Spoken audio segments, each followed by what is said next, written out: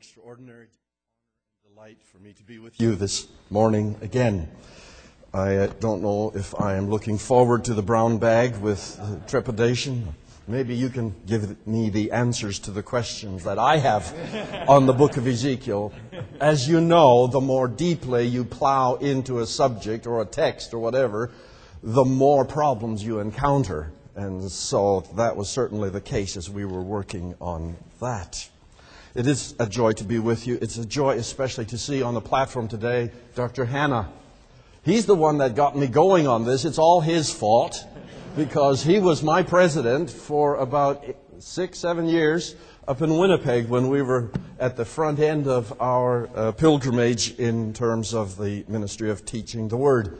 And I must say thank you to Dr. Hanna because at that institution, he, he as president, created the kind of climate that encouraged the growth and development of faculty members. And I am very, very grateful. And my wife sends greetings as well. The joy of worship. These days, as soon as anyone announces a series of studies on worship, our ears perk up.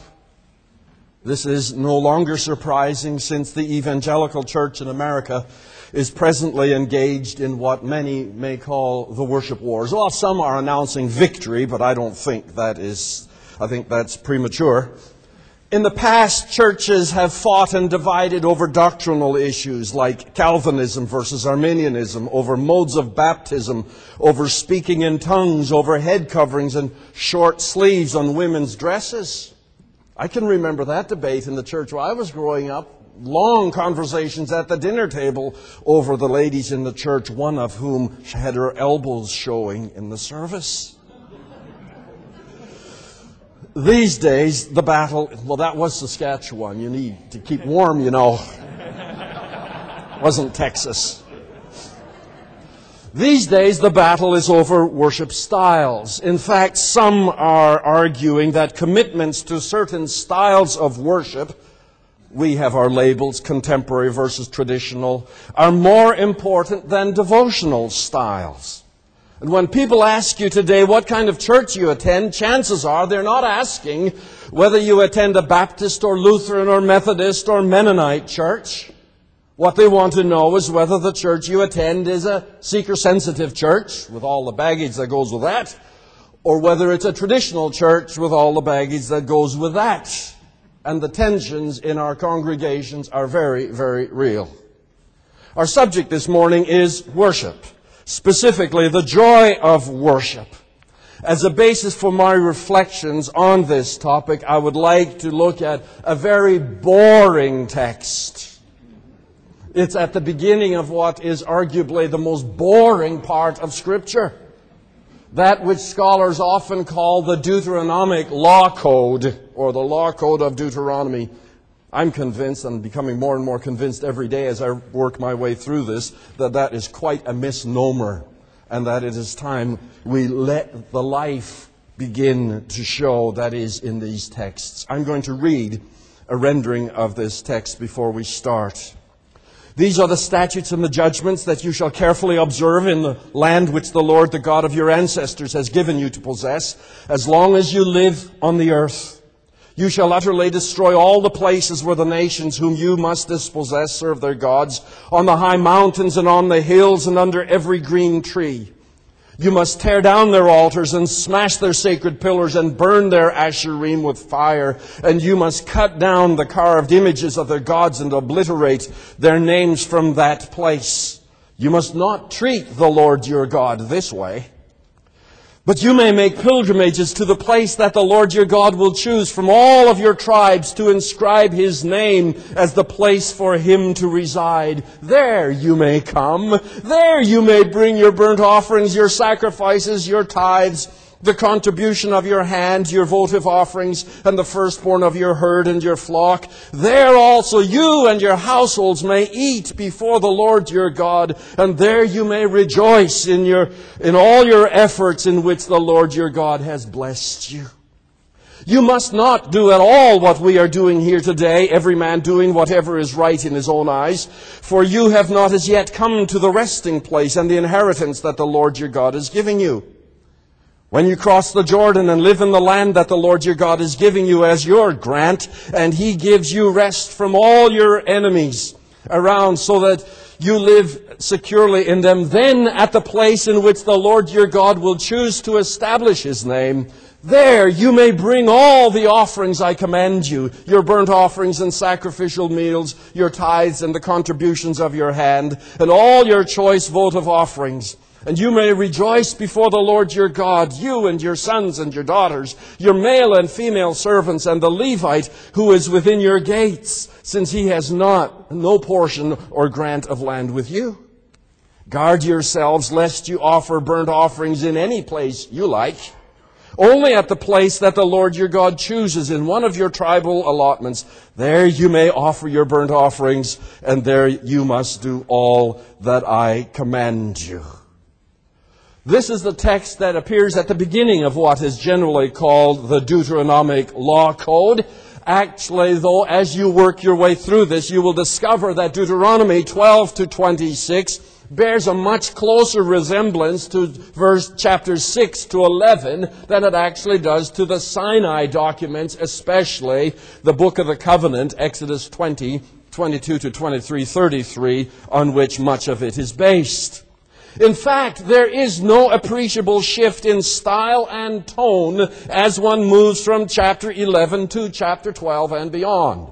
We have long recognized the homiletical and rhetorical tone of chapters 5 through 11. It's time we wake up to the fact that that tone does not change appreciably as we move into 12. While scholars are quick to recognize in the speeches of the book of Deuteronomy the voices of a prophet or a scribe or even a priest, the concerns and style of the speaker are better understood as the addresses of a pastor.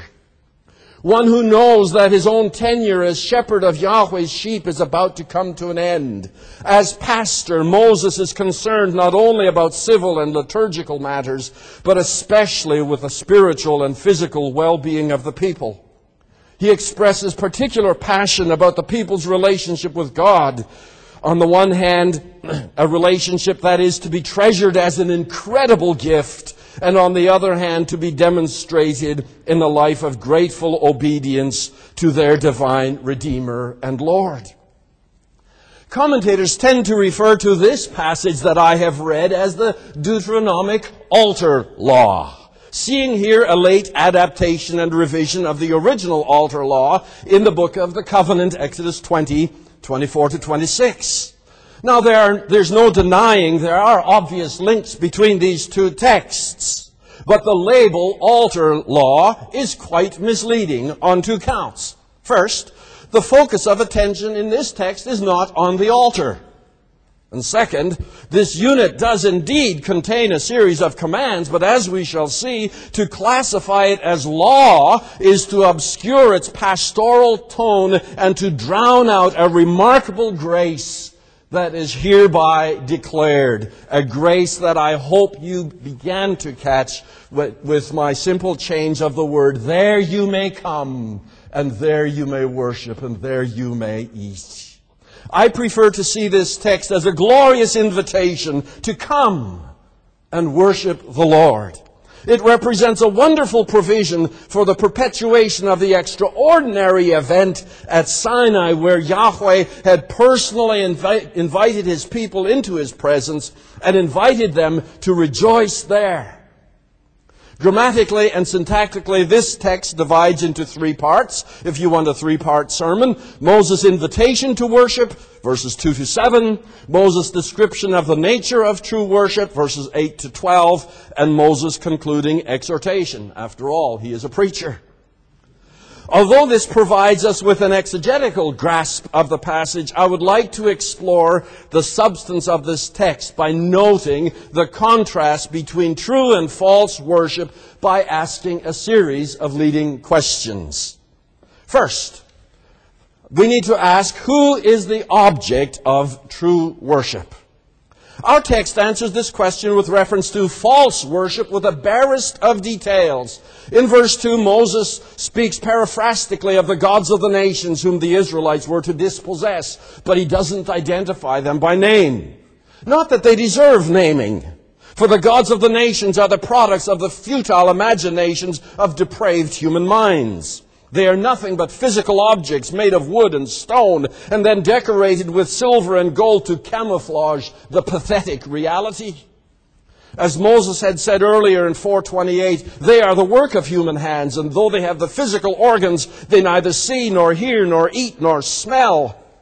He will even use sharp, he will be even sharper in his criticism in 29:16, where he will refer to these lifeless idols as shikutzim and gilulim, a Hendiadic phrase for disgusting pellets of excrement. I think actually he means sheep droppings. Those of you who know anything about sheep will, know, will understand those round things. This is how God, here, speaking through Moses, thinks about all the expressions of religious devotion that displace him as the object of worship with humanly inspired or man made substitutes. By contrast, the Israelites are called to worship the Lord, the living God, who has not only revealed to his people his eternal name, but who has personally established himself as the God of your ancestors. According to chapter 4, this is the God who has graciously revealed his will to the people and in fulfillment of Genesis 17:7 7, graciously invited Israel to covenant relationship with himself. Because he loved the ancestors, he chose their descendants and redeemed Israel from the bondage of Egypt and in so doing demonstrated that he is the one and only God. There is no other. Not only has Yahweh become the personal God of this people, as Moses will declare in 14, 1 to 2, he has adopted them as his sons, set them apart as his holy people, chosen them to be his royal treasure. A starker contrast between Israel's gods, God and the gods of the nations can scarcely be imagined. Second, who are the subjects of true worship. And of course, now I am not talking about subjects in the sense of about whom is worship, but I am using it in the grammatical sense. What kinds of nouns are appropriate subjects to the verb worship? And as far as I know, God never worships. God is never the subject of that. He doesn't need to bow down before anybody. Who does worship? Well, on the one hand, this text speaks, speaks of the nations whom you shall dispossess, whom we know to be the Girgashites and Amorites and Canaanites and Perizzites, etc., seven nations stronger and greater than you. These are the nations whose worship is an abomination, with whom the Israelites are to make no covenants, show no favor, with whom they are forbidden to marry, for they will turn your children away from following me to serve other gods. These are people whose worship Yahweh abhors. Now, whereas the persons whose worship is rejected are lumped together in one generic expression, hagoyim, the persons who are invited here to worship are specifically identified. Moses is obviously addressing the heads of households in verse 7 when he refers to the worshippers as you.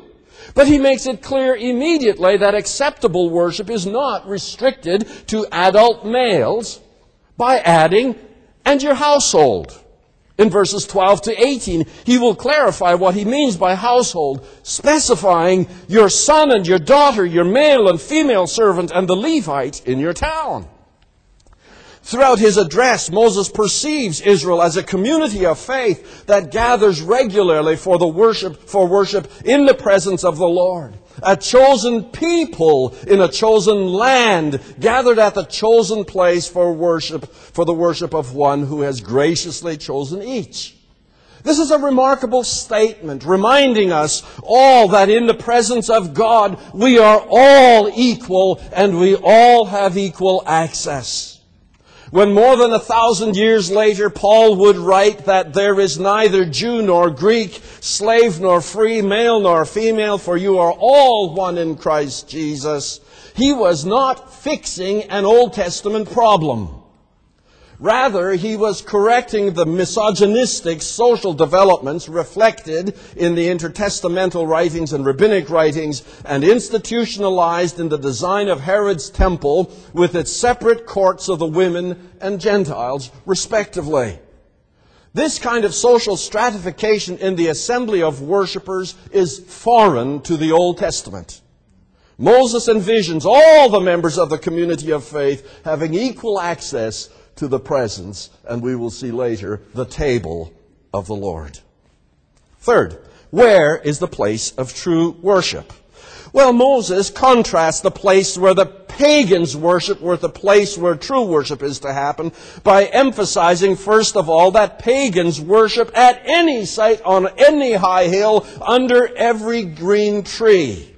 Now, if you have trouble connecting with your gods, and being frustrated with their refusal to answer, you will seek every opportunity in every possible place where a God might be contacted through liturgical means. The emphasis on this plethora of places serves as an important foil against which to interpret the Lord's claim to a single place in verses 5 and 11.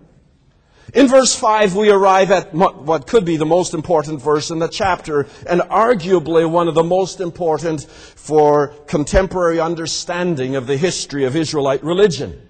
The place that the Lord your God will choose from among all your tribes to put his name there for his dwelling represents the first of 21 occurrences of what we call the place formula in the book of Deuteronomy and it sets the stage for what follows. What can we learn about this place? Well, first of all, this place is the place that the Lord, the God of Israel, chooses. It's not wherever you like, where the nations do, or wherever they decide it might be, uh, it might help to connect with the gods, but it is where the Lord chooses. This is a great election term in the book. Just as the Lord chooses Levites as priests out of the tribes, He chooses a king from the people to govern him, and He has chosen Israel out of all the peoples on the earth as the means of fulfilling the patriarchal promise. The same is true of the place that He will choose. In accordance with long-standing ancient Near Eastern tradition, gods select the place where their devotees are to worship. Here, Yahweh the God of Israel, announces in advance that he will choose the place. Curiously, he never names the place in the book. Second, the place will be chosen from all your tribes. Actually, the tribes is not a place, and so you have to understand the word tribes as from within your tribal territorial allotments. The issue is Sinai doesn't count anymore. It's within the promised land.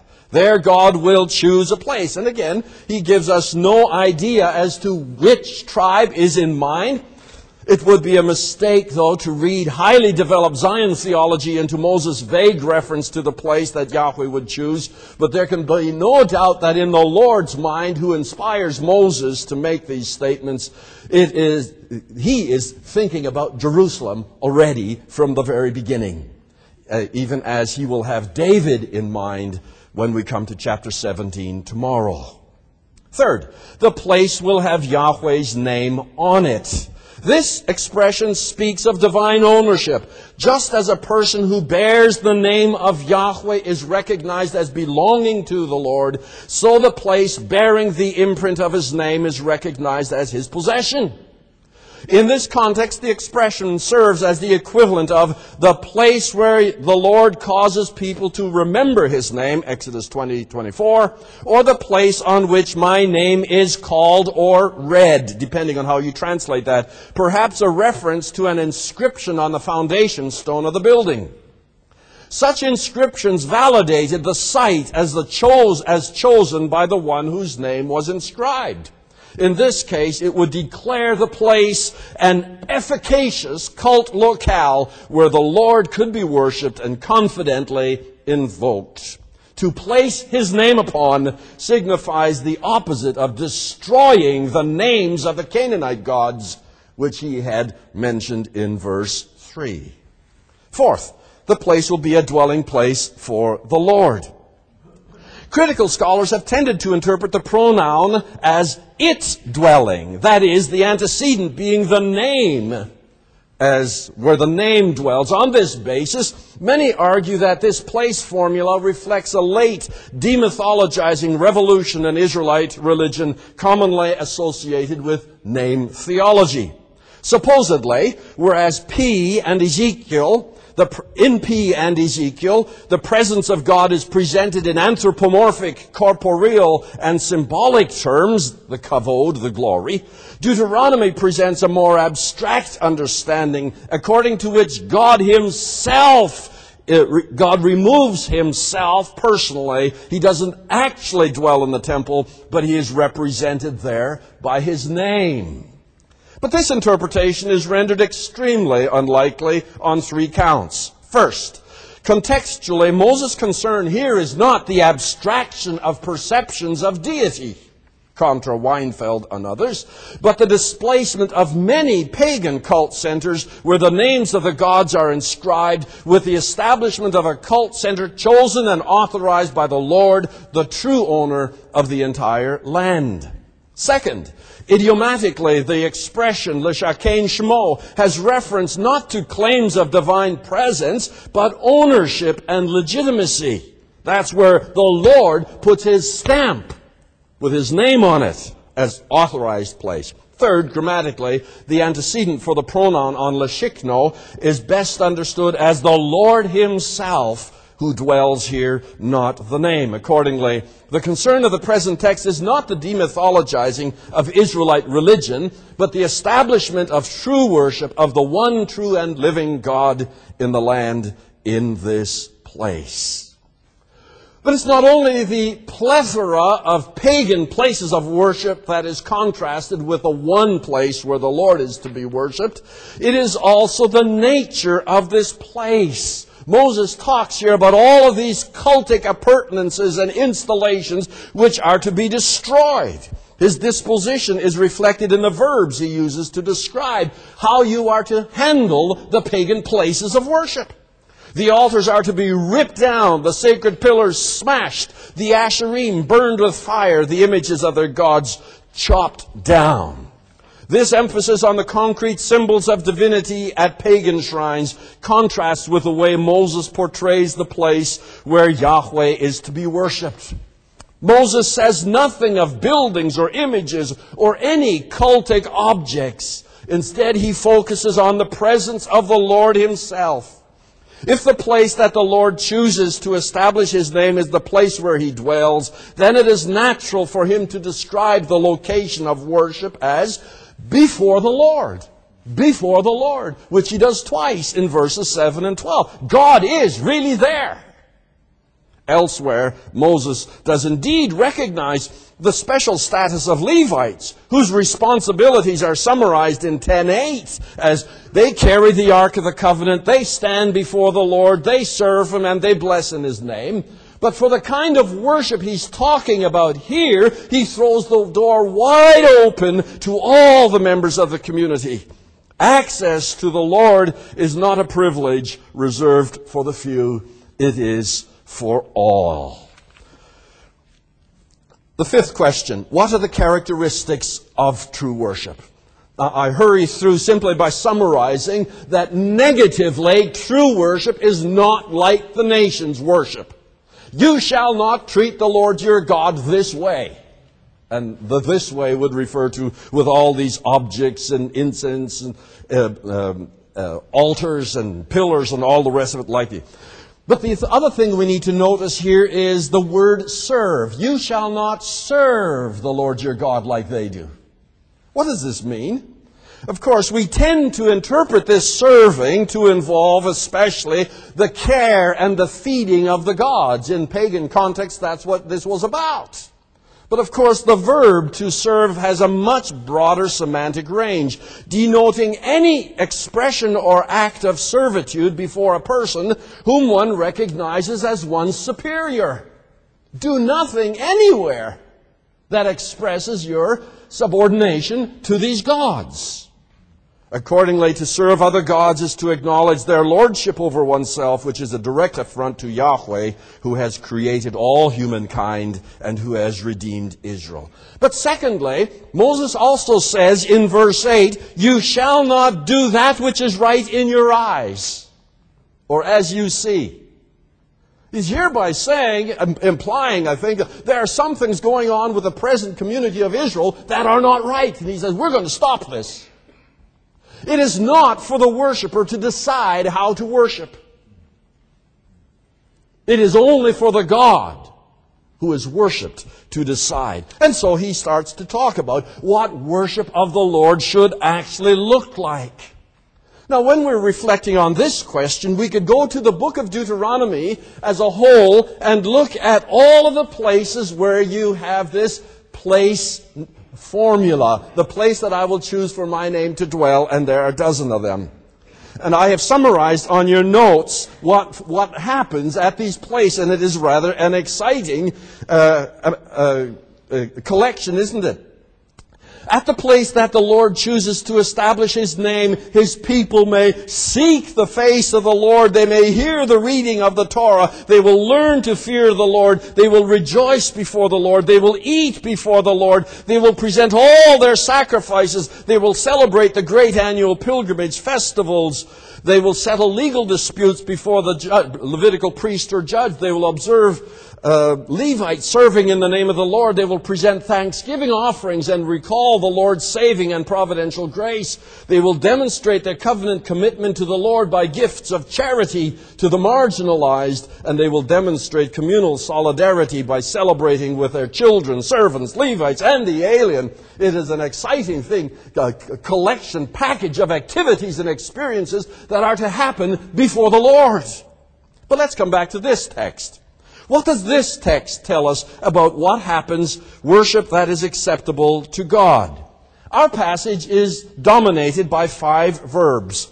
You shall make a pilgrimage to the place. You shall come there, or is it enter? You shall bring your offerings. You shall eat, and you shall rejoice in all your activities. Now, the tone of this paragraph is remarkable, flying in the face of common perceptions of worship in the Old Testament. Moses' paradigm for worship here has five dimensions, each of which has a profoundly positive sense and may be construed more as an invitation than a command. First, Moses invites the Israelites to make regular pilgrimages to the place where the Lord resides. Contrary to most English translations, the Hebrew expression darash el hamakom does not mean either to seek the place, it's the wrong kind of construction for that, or to seek the Lord at the place. In this instance, with the following preposition, Tigay is quite right, I think, in saying that this is an idiomatic expression for making pilgrimages to the place to visit the place with spiritual intent. Traditionally, literally, Moses' first challenge reads, on the contrary to the place that the Lord your God will choose, you may, uh, you shall seek or repair, and you may come there. He hereby invites the Israelites regularly to visit the place that the Lord will choose for his residence. Although these verses are usually referred to as the altar law, as I have already indicated, in reality, they represent a gracious initiative by God in providing a way whereby He could continue to relate to His people in the land more or less as He had done at Sinai. This is as much an invitation to continuous and repeated fellowship with Him as a command regularly to appear before Him. Second, Moses invites the Israelites to come, or is it to enter the place where the Lord resides? And again, most of our translations read, There you shall go. Now that's what you're saying when you're commanding. Take, you start here and you go there. But this is not that kind of language. The perspective is here, is, is the, the motion is perceived from the perspective of the person who is the destination. Come. There you may come, rather than the perspective of a person sending one off on a journey. Israel is invited to come to the Lord and to enter, and the word bo can mean not only come, but also enter into his presence. True worship in, occurs in his presence by his invitation. Third, Moses invites the Israelites to bring all their offerings to the place uh, where Yah, the Lord establishes his name. And again, the verb is the same. It's not take your offerings there, but bring your offerings here.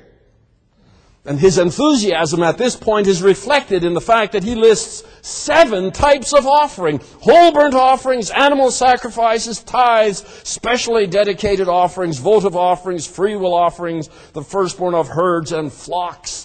Like his listing of the seven nations in chapter 7 verse 1, this catalog is not intended to be exhaustive, but representative. The whole package is to be brought there on behalf of the Lord, Moses invites the Israelites to come, bring all your offerings to me, speaking for God, at the place I have chosen, knowing that I will accept you. The chosen people offering specially chosen gifts in the place chosen by God. This is the key to maintaining the covenant relationship established at Sinai. Fourth, Moses invites the Israelites to eat there in the presence of the Lord. He brought me to his banquet table. That's what's happening here. This statement is extremely significant on at least three counts. First, as elsewhere in ancient Near Eastern and biblical and even biblical counts, eating together was a ritual act of fellowship and communion, often the culminating event of a covenant making ritual. I am very encouraged that you've invited me to join you in a brown bag lunch. That's communion. Second, Unlike the emphasis in pagan contexts where offerings are presented as food for the gods, in this context, the offerings are food for the worshippers. God doesn't need food. Third, the adverbial modifiers there in the presence of the Lord your God reflect the true nature of his relationship. As the Lord's vassal, Israel is hosted by the Lord but interesting, does not eat with him. I think maybe we have a picture of this in Psalm 23. You prepare a table before me while my enemies look on. And you spread out the table in my cup. You, you, you fill my cup to overflowing. This is celebration at the table of the Lord. What a privilege. The election of that place provides a way by which the communion Israel experienced at Horeb may be repeated again and again and again in the promised land. And fifth, the Israelites are invited to celebrate the blessing of the Lord on their work.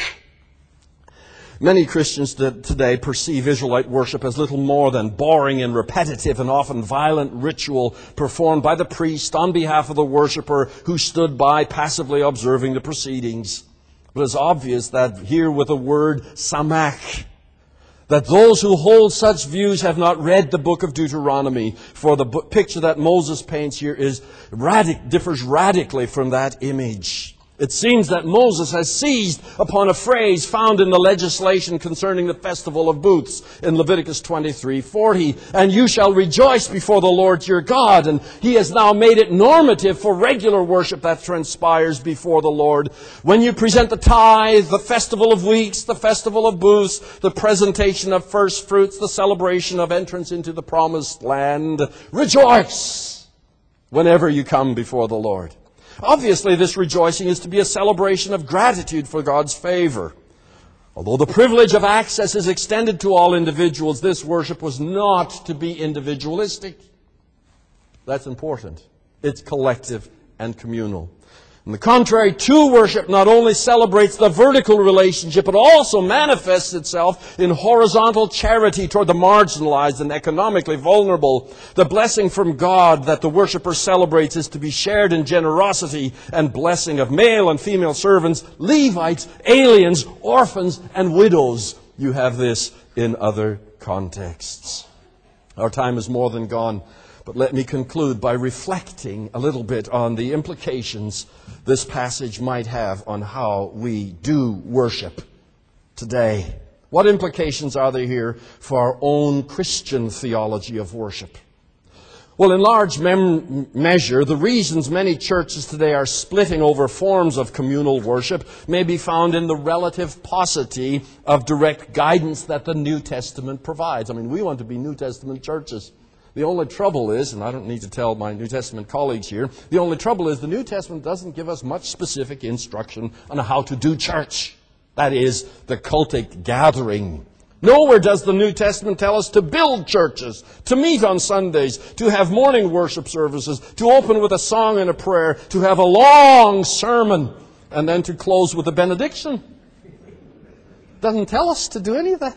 About the only custom it prescribes is, as a regular occurrence, is participation in the Lord's Supper which is eaten in the presence, in remembrance of Christ's saving work and in anticipation of the great eschatological meal in the presence of God Himself. Remarkably, this, except for those of you from the Brethren and Plymouth Brethren tradition, this is the one liturgical worship rite that the New Testament describes, but we treat as optional, or occasional, or random. We squabble over everything else and neglect the weightier matters of the gospel. The crisis in the contemporary evangelical church arises from the woeful absence of a biblical theology of worship. If true worship actually involves reverential act, human acts of submission and homage before the divine sovereign in response to his gracious revelation of himself and in accordance with his will, and that is uh, kind, it's not a definition. You can't define, well, you can define the words for worship, but it's an, an attempt to clarify what worship is or does. If that is an accurate definition, then we had better start asking what His will is. Specifically with respect to reverential acts of submission and homage. Have you ever noticed that the two things, both the Hebrew and the Greek words for worship, primarily, proskuneo and hishtachua, prostrate oneself. These are, the, these are the things we are not allowed to do in our churches. A text like Deuteronomy may begin to help us along the way. What lessons on worship can we learn here? First, very quickly. The only legitimate object of worship is the Lord, the creator of heaven and earth, the God of Israel, and the redeemer of humankind through the divine incarnate Son, Jesus Christ. All other objects of worship are not only illegitimate, they are shikutzim and gilulim. Second, the only persons who may worship God legitimately are the redeemed. Those whom God has brought from bondage in the kingdom of darkness and ushered into the realm of his marvelous light. There is but one form of worship that unbelievers may legitimately participate in prostration before the holy God and pleas for mercy, as you have it in Luke 18. God be merciful to me, a sinner. Third, true worship involves an audience with the divine king.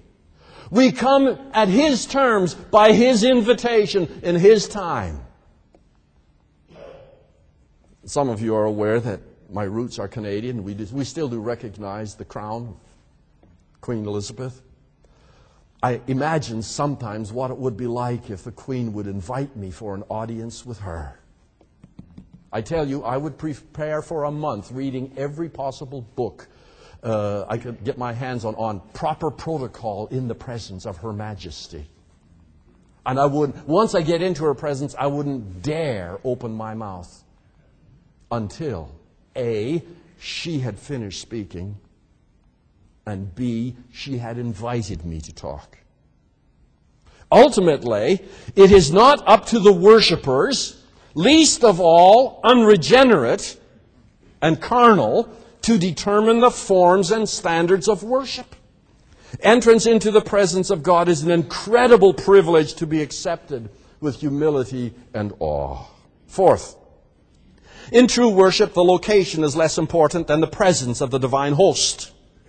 We noticed in this text already that it's always vaguely at the place where I cause my name to dwell. Never names the place.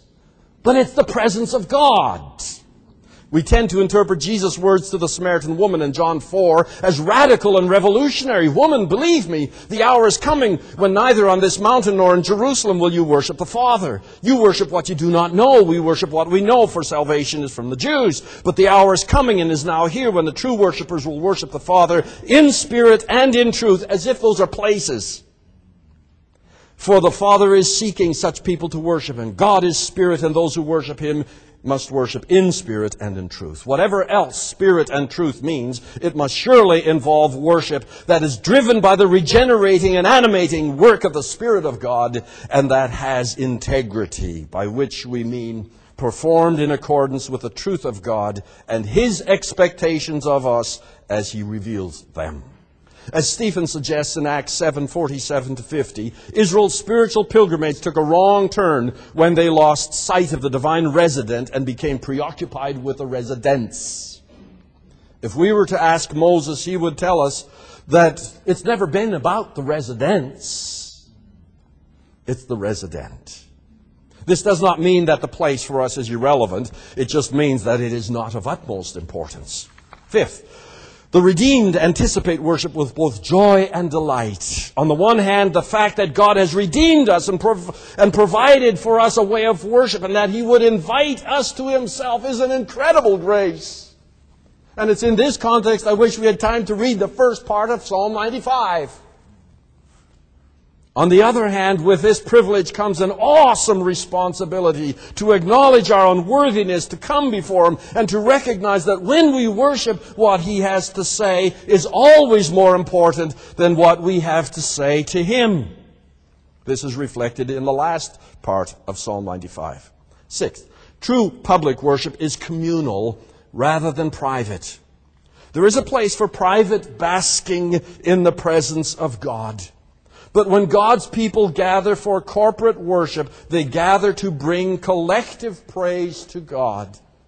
And I wish that we would get rid of first person singular pronouns in our corporate worship. It's about we, not me. It used to be said that 11 o'clock on Sunday morning is the most segregated hour of the week.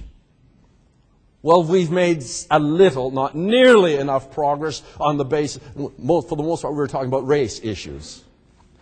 I'm convinced that the 11 o'clock hour is still the more, most segregated hour of the week, but for other reasons. Whenever we have a split, or whenever we have split services on the basis of race or age or musical tastes, I am convinced the devil has us exactly where he wants us.